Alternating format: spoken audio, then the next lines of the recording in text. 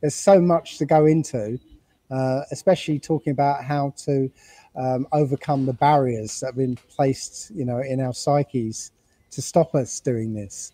Um, I, I, can give you one example of a, one barrier, um, sure. if we've still got time. Yeah, yeah, yeah. Um, uh, okay, imagine. Um, okay, so the the idea is that your imagination is is more powerful than your intent.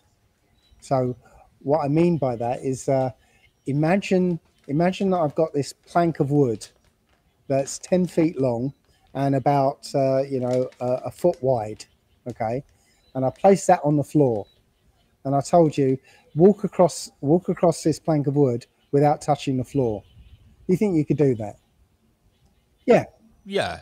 Yeah, I do balance on that easily. You yeah. could you could easily do it. You could hop across it. You could run across it. Um, you'd you could walk. Um, you could probably do it blindfold. Yeah. Now, yeah. so what if I took that plank of wood and put it hundred foot in the air between two buildings? Right? do you think you could do it now? No. No.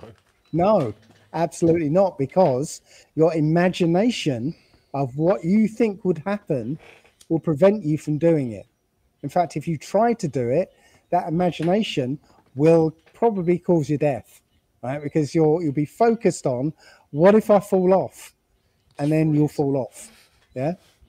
So that's a good example of negative manifestation, I guess. Yeah. Ex- exactly, and that's when you when you actually try and make something happen, right? Your imagination of of what that might entail, right, is going to prevent you from making it happen. Uh, maybe we can start uh, getting people to to you know actually use these abilities naturally.